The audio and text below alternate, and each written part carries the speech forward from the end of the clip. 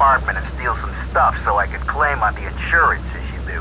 The thieving bastards are threatening to tell the insurance company if I don't give them a cut. Can you believe it? I left the car inside the factory gates. Use it to go pick them up from their turf in the red light district. Then bring them back to the factory so I can make them see Marty's point of view.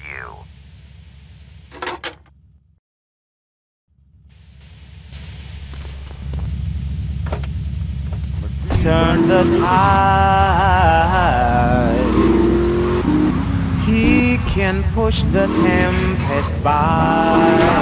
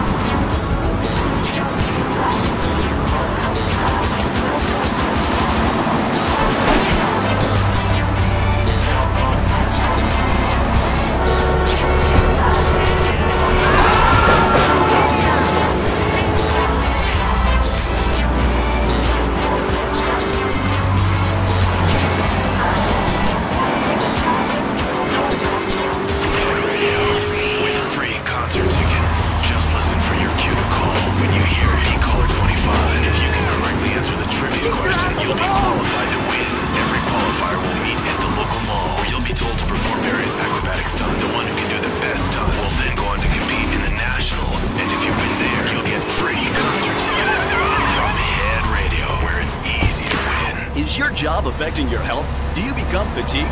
Does working take time away from family and social events like watching wrestling? There's an easy solution. Sue your boss. See, the great thing about this country is you can sue anyone for pretty much anything. And you'll probably win, or at least get a settlement. Easy there, partner.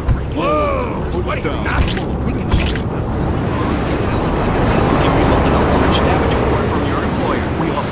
in awards for injuries suffered in auto, bus, and train accidents. And can even train you to throw yourself in front of a bus and pretend to be injured. Hey, that's why they pay for insurance. Call the law offices of Rakin and Ponzer and get ready to enjoy a life of luxury.